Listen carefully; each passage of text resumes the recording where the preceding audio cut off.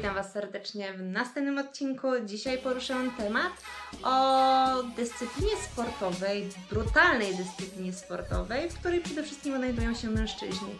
Ale również w ostatnim czasie zauważyłam, że wiele kobiet również rozpoczyna przygodę z boksem.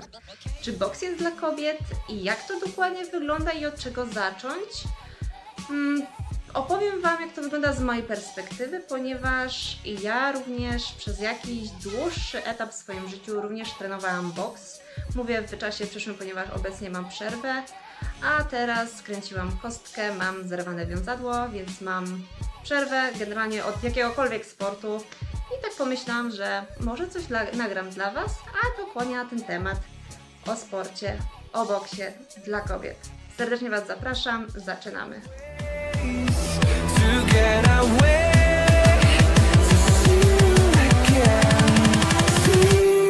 Again,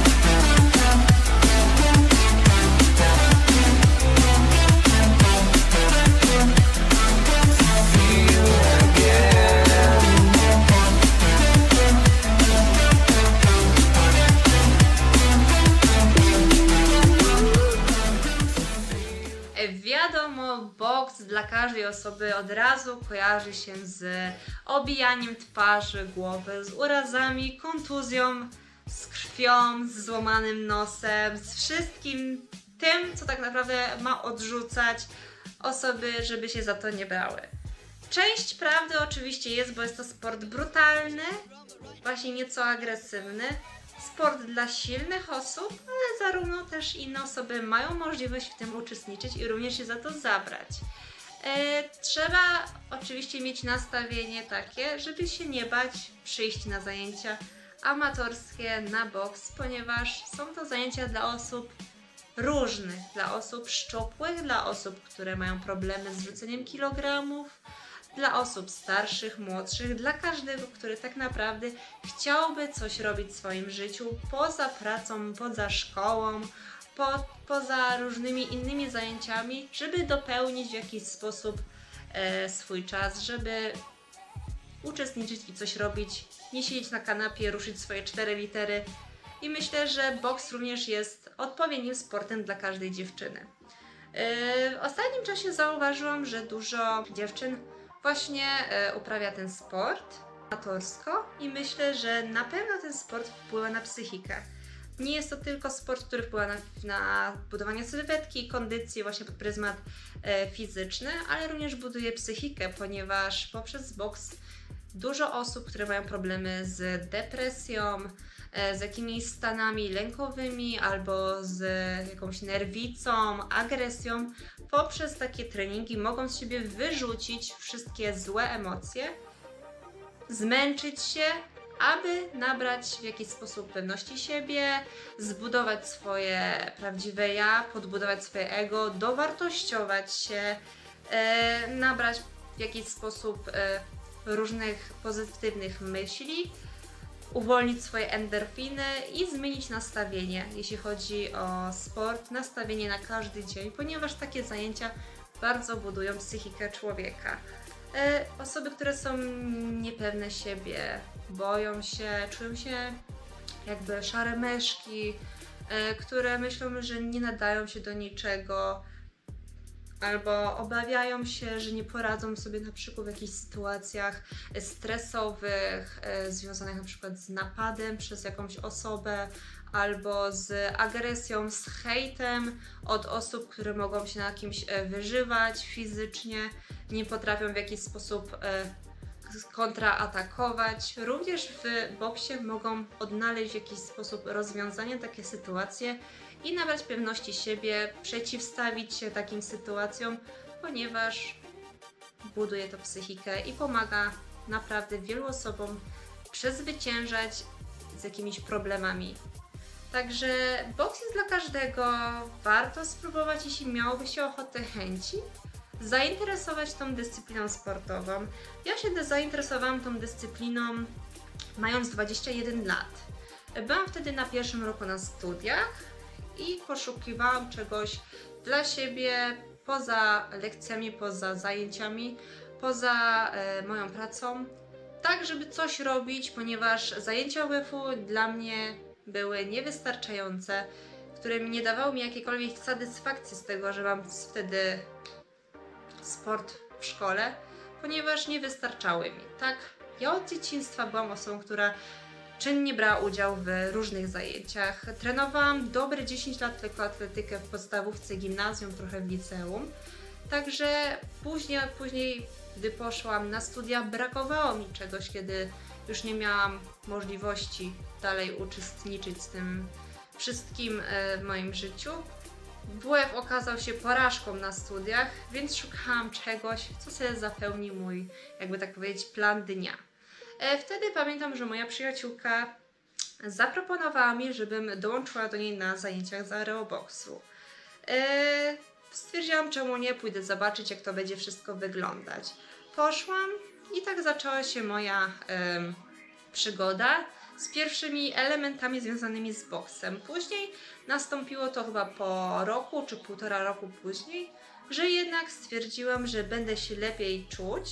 i będzie bardziej też nieco pasować do moich zainteresowań, ponieważ e, od dawna lubiłam oglądać różne federacje, MMA, przede wszystkim UFC, różne walki i stwierdziłam, że jednak wolałabym coś czystszego związanego z takim sportem, czyli bezpośrednio pójść na boks. Bez żadnych element, elementów fitness, bez jakiegoś takiego cardio. Chciałam po prostu zobaczyć, jak to będzie wyglądać, czy sobie poradzę z tym wszystkim. I poszłam na boks, które również odbywały się w tym samym miejscu, gdzie trenowałam aerobox, bo się znajdowało to wszystko w klubie Skorpion w Szczecinie, w klubie bokserskim. Tam pozostałam, bo mi się spodobały zajęcia u trenera, typowo dla grupy otwartej, dla osób amatorskich i stwierdziłam, że czemu nie, daję sobie radę, jest ok. Później nastąpiła sytuacja, że Śmieszna sytuacja, oczywiście nie z mojej winy, że musiałam niestety zmienić klub, co na dobre dla mnie wyszło. I zmieniłam klub i poszłam do PKS Olimp Szczecin, do drugiego klubu, również popularnego w Szczecinie. I tam trenowałam, można tak nazwać, że klimat w tym miejscu to typowo taka jedna wielka rodzina tam trenuje, ponieważ nie ma jakiegoś, nie wiem, odczucia, atmosfery, żeby ktoś w jakiś sposób czuł się lepszy, wywyższał. I ogólnie mi tam bardziej pasowała atmosfera niż w moim poprzednim klubie. I stwierdziłam, że tu na pewno pozostanę, że tu czuję, że to jest tak naprawdę ten klub, w którym się w jakiś sposób odnajdę. No i w tym klubie dalej trenowałam. I tak na tą chwilę, kiedy opuściłam Polskę w 2019 roku, czyli dobre 6 lat, 7 lat, no też 6 lat, bo tam przerwy były, trenowałam boks czynnie i aktywnie każdego dnia. Później pojechałam e, do Niemiec i w Niemczech musiałam sobie znaleźć klub, bo również chciałam kontynuować swoją przygodę z boksem. Znalazłam klub, który wydawał mi się, że jest w porządku, ale aczkolwiek się okazało, że nie jest w porządku, ponieważ będąc na pierwszych zajęciach e, z boksu, nie to, że nie zostałam w jakiś sposób miło przyjęta, tylko zauważyłam tu e, problem związany z trenerem, z nastawieniem e, dla nowych osób. E, przyszłam na trening jako osoba nowa, jako świeżak tak naprawdę, któremu przede wszystkim powinno się pokazać, jak wyglądają te zajęcia, co można oczekiwać, że jest naprawdę fajnie, super, serdecznie zapraszam i pozostań z nami. U nas naprawdę w jakiś sposób się będziesz dopełniać, e, w jakiś sposób będziesz się rozwijać. Miałam takie przynajmniej nastawienie, że tak będzie. A doszło w tym momencie, że odczułam pierwszy raz w życiu takie uczucie, że ktoś chce coś mi udowodnić, żeby w jakiś sposób mnie poniżyć, pokazać, że się jest lepszym, że jestem gorsza, ponieważ, e, no nie wiem, jestem Polką, jestem e, atrakcyjna, jestem z makijażem, blondynką, nie mam w jakiś sposób e, zdania, jak do tego doszło, ponieważ zostałam dobrana do dziewczyny, która bardzo, jak można powiedzieć, w swoim życiu czynnie brała udział w różnych zawodach. W zawodach amatorskich, jakichś tam innych zawodach już po prostu miała taki staż, takie doświadczenie, że y, w jakiś sposób y, chciała mi pokazać, że ona jest lepsza ode mnie. Owszem, była lepsza ode mnie, ale będąc w parze razem ze sobą, dano nam sparring.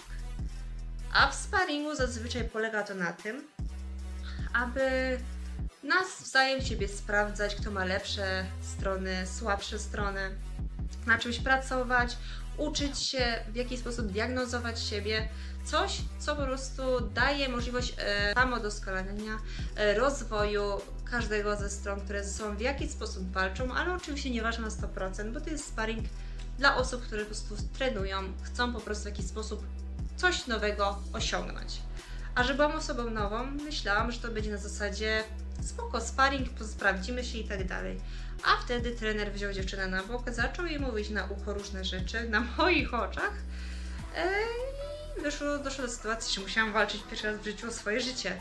A nie o to chodzi na treningach i dlatego warto o tym też również pamiętać, że idąc na taki trening, można natrafić na sytuację, że ktoś może być złośliwy, przede wszystkim wśród dziewczyn może być złośliwy, ktoś będzie się udowodnić Tobie, dokopać, w jakiś sposób Ciebie krz- skrzywdzić, fizycznie, psychicznie udowodnić i sprawić jakąś przykrość. Wtedy pierwszy raz w życiu spotkałam się z takim, jak można tak nazwać, nastawieniem, że dziewczyna chciała mi zrobić krzywdę, ale to taką świadomą krzywdę, mimo tego, że wiedziała, że jestem świeżakiem w tym klubie, Wiedziała, że jestem z Polski, wiedziała, że tam, trenowałam te 6 lat, ale spodziewałam się, że to inaczej będzie wyglądać i wtedy musiałam naprawdę napracować się, dać siebie 100%, żebym, nie wiem, w jakiś sposób mi się nie stała krzywda. E, a nie o to przecież chodzi. Pamiętam wtedy, że e, dużo dostałam od, niej, od tej dziewczyny ciosów, ale również nie dawałam jej tej satysfakcji, że mi się coś dzieje i również ja ją w jakiś sposób naparzałam. Jak tylko miałam możliwość, uderzałam tak, żeby pokazać, że no nie boję się jej, dam sobie radę, mimo tego, że ona cokolwiek będzie robiła i tak sobie poradzę, ponieważ nie po to tu przyszłam, e, żeby ktoś mnie zbił i żebym z podwiniętym ogonem stamtąd wyszła. Więc miałam taką niezbyt ciekawą sytuację. Także również idąc na takie zajęcia, warto pamiętać, że można się spotkać z jakąś, jakąś złośliwością z drugiej osoby, z którą można w jakiś sposób e, współpracować podczas treningu, e, sparować, jakieś zadaniówki robić, ale warto też o tym mówić. Słuchaj, nie życzę sobie, żebyś mnie mocno uderzała albo żebyś napa- uderzała specjalnie w twarz. E, możemy ze sobą ćwiczyć, ja chcę się czegoś uczyć, nie jestem tutaj po to, żeby stała mi się krzywda, tylko po to, żebym ja stąd wyszła z uśmiechem, z satysfakcją, że uczestniczyłam w tych zajęciach. Także również warto pamiętać i o tym mówić, nie bać się o tym mówić, bo to też jest ważna, ważna sprawa, żeby mieć jakąś komunikację z osobą, z którą się trenuje. Ja również pamiętam, jak trenowałam w, zarówno czy w Skorpionie, czy w e, Olimpie w Szczecinie e, z różnymi osobami. Wspominałam, słuchaj, nie życzę sobie, żebyś mnie uderzał, uderzała bezpośrednio mocno w twarz. Wolałabym jednak dostać na przykład w czoło, mając e, oczywiście ochraniacz na głowie, kask. E, wolałabym jednak dostać w czoło, niż żebyś mi ktoś bezpośrednio w twarz uderzył w nos. Ponieważ e, ja w tym czasie dosyć, że studiowałam na co dzień, miałam egzaminy, E, Pracowałam również, e, często się zdawało, że miałam zlecenia jako hostessa. Brałam czynnie udział również w sesjach zdjęciowych, więc w jakiś sposób musiałam wizerunkowo też dobrze wyglądać, żeby to nie wpłynęło ten cały boks na to, jak ja wyglądam na zdjęciach, czy w jakimś miejscu, w którym pracuję, w którym jestem. Także też pamiętam, że nie bałam się o tym wspominać, że sobie tego czegoś nie życzę. Więc również, jak dziewczyny mają jakieś obawy idąc na zajęcia z boksu, że im się stanie krzywda, że będą miały obitą twarz, wyjdą z siniakami. Też warto o takich rzeczach mówić. Zgłaszać trenerowi czy komuś, z kim się trenuje, że nie po prostu takie osoby chciałyby to jednak uniknąć. Boks każdemu buduje psychikę. Jeśli ktoś ma jakieś problemy w życiu, również może iść pójść na boks, e, żeby z siebie wyrzucić w jakiś sposób złe nastawienie, wyżyć się na worku, czuć się lepiej bardziej oczyszczonym, bo lepiej się doskonalić właśnie pod kątem psychiki. Jeśli chodzi o boks dla kobiet, również fajnie jest, fajnie to brzmi, e, kiedy ktoś się pyta, ej słuchaj, czym się zajmujesz, coś trenujesz, jakaś siłownia czy coś, a ty opowiadasz, no trenuję boks. Zazwyczaj jak się to słyszy, to ktoś to nie dowierza, że ale jak, że dziewczyna trenuje boks, jak to jest możliwe, to ty się nie boisz, przecież ty masz ładną buzię, ładna dziewczyna jesteś. E, jak można takim czymś się zainteresować? No i otóż można, dziewczyny bardzo się interesują takimi sprawami, że trenują boks. Wiele modelek trenuje boks e, indywidualnie ze swoimi trenerami, bo to wpływa bardzo faj- fajnie, pozytywnie na sylwetkę, na budowanie kondycji. Także dosyć, że to fajnie brzmi i druga osoba fajnie to odbiera i fajnie się wygląda w, te, w oczach tej osobie, że się ktoś takim sportem zainteresował brutalnym.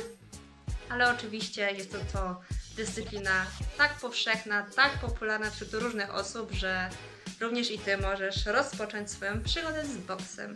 Nie ma się czego bać. E, Ja wspominam i jestem generalnie zadowolona, że poszłam na te zajęcia. Początkowo z aeroboksu, potem zdecydowałam się, że jednak wolałabym się odnaleźć w samym boksie, ponieważ e, też to dopasowywało się w jakiś sposób z moimi zainteresowaniami, ponieważ e, ja w tym czasie, kiedy zaczęłam trenować boks, oglądałam bardzo często Federację UFC, walki, moje idolki. I tak stwierdziłam, że czemu nie, może też sobie spróbuję którąś z e, tych dyscyplin, które są oczywiście w mieszanych sztukach walki. Boks okazał się w porządku dla mnie. Oczywiście miałam propozycję jeździć na zawody mm, amatorskie, amatorskie akademickie, ponieważ y, miałam tak trzy razy możliwość się mnie trener zapytał, czy bym nie chciała pojechać, ale niestety ja nie byłam osobą, która jest w jakiś sposób 100% zaangażowana w tym sporcie, w tym wszystkim. Y, Nie jakoś nie odczuwałam siebie, że to jest stworzony dla mnie sport, ja w tym jestem super, byłam super. Normalnie trenowałam, wszystko tak dalej, byłam zadowolona.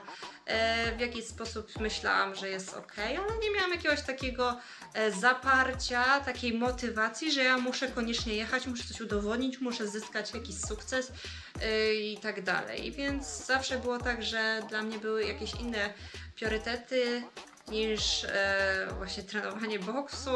Więc kiedy trener zapytał się mnie, czy jadę na zawody, powiedziałam przykro mi, no nie jadę, mam egzamin w szkole, bo akurat to było w czasie, w tym samym czasie dopasowania, kiedy miałam egzaminy, kiedy miałam sesję egzaminacyjną na studiach, a byłam na studiach na Akademii Morskiej, na Wydziale Nawigacyjnej, więc to nie były przelewki i dla mnie okazała się ważniejsza nauka, szkoła, niż po prostu jakieś zawody związane z boksem. Nie żałuję tej decyzji, ponieważ no, nie czułam takiego zapotrzebowania, że ja muszę gdzieś coś jechać, coś udowodnić, coś zyskać. Ja wolałam skupić się na jednej konkretnej rzeczy, na szkole, na studiach, żeby po prostu zdać egzamin, a potem ewentualnie można myśleć o swoich przyjemnościach. Najpierw obowiązki.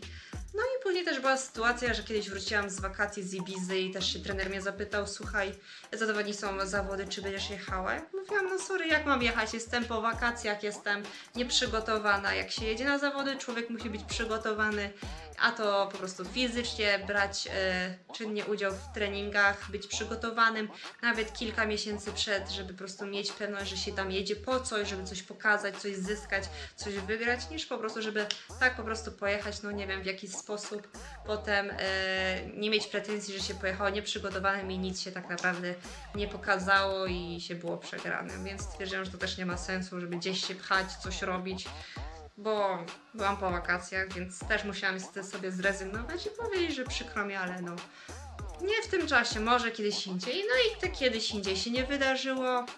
Też nie mam jakiegoś czegoś takiego, że jest mi przykro, że nie jechałam na zawody, że jakieś inne wybory miałam, ale oczywiście fajnie pojechać na zawody, sprawdzić siebie, jak to wygląda, przeżyć to, ale no jakoś nie miałam takiego zaparcia, żeby w tym bra- tak, czy brać udział. Y, Ze sportem miałam zawsze do czynienia od samego dzieciństwa. Przez 10 lat trenowałam lekkoatletykę w podstawówce, w gimnazjum, tam kawałek na, w liceum. Y, Więc jakieś zawody, jakieś konkurencje z innymi osobami, żeby się sprawdzać, były i też, też to jest fajne uczucie. No ale jakoś z boksem czegoś takiego nie miałam, że chcę pojechać na zawody, chcę komuś w jakiś sposób udowodnić, że jestem zajebista i jest super. To jest dyscyplina dla każdego. Każdy może w tym się odnaleźć tak naprawdę, nie mając jakichś super umiejętności, bo te umiejętności się z czasem dopiero e, pozyskuje. Nauczyć się, każdy nauczy techniki bokserskiej, podstawowych ciosów, po prostu wyjść z domu, ruszyć dupę z kanapy, pójść na zajęcia, sprawdzić się, poznać jak to wygląda od środka, e, poznawać nowe osoby, nawiązywać znajomości, pracować wspólnie w grupie. Lepiej jest raźniej niż samemu, jeśli ktoś nie ma takiego samej realizacji, samoskonalenia, po prostu samodzielnie zadbać o siebie, to również takie rozwiązanie jest, żeby w grupie z innymi działać i każdy po prostu siebie motywuje, każdy w jednym czasie pracuje nad sobą. Myślę, że to by było na tyle w tym temacie. Jeśli macie jakieś pytania, możecie zadawać. E, Myślę, że jestem odpowiednią osobą, jeśli chodzi, przybliżyła ten temat, oczywiście temat w sporcie amatorskim, bo z zawodowstwem czy z innymi takimi rzeczami nie mam nic wspólnego. E, po prostu trenowałam dla siebie i myślę, że oczywiście wrócę do tego bardzo chętnie, bo mi brakuje boksu, mimo tego, że mam teraz taką małą przerwę. E, I co? Myślę, że to by było na tyle. Serdecznie dziękuję za poświęcony czas. Widzimy się w następnym odcinku. Pa, pa!